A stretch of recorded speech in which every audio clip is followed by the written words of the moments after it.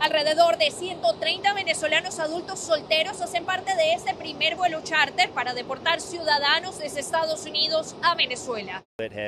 Hay personas que acaban de cruzar, hay personas que han estado aquí durante bastante tiempo, hay algunas que están en el proceso de expulsión acelerada, por lo que hay una variedad de gente que va en este vuelo. Reincidencia por cruce no autorizado y por ende orden de deportación ha sido también una de las razones de repatriación de los venezolanos. Que si piensan entrar, que hágalo legalmente, porque si no, eso es lo que va a tener esperando. La reactivación de estos vuelos de deportación hacia Venezuela ha creado incertidumbre entre ciudadanos de dicho país que hace poco entraron irregularmente a Estados Unidos. Seguiría algo que de verdad sería como fatal, pues porque allá la situación no es que está muy bien y pues todo lo que hemos invertido y, y todo lo que hemos pasado en, en todo el camino, pues.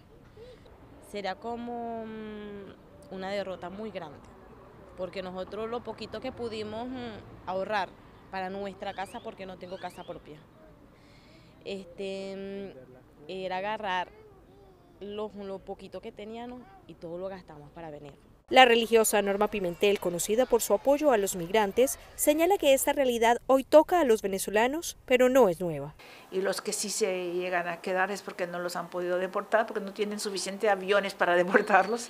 Y entonces este, esos son los que estamos viendo. Algunas de estas personas tienen antecedentes penales, pero no es una generalidad.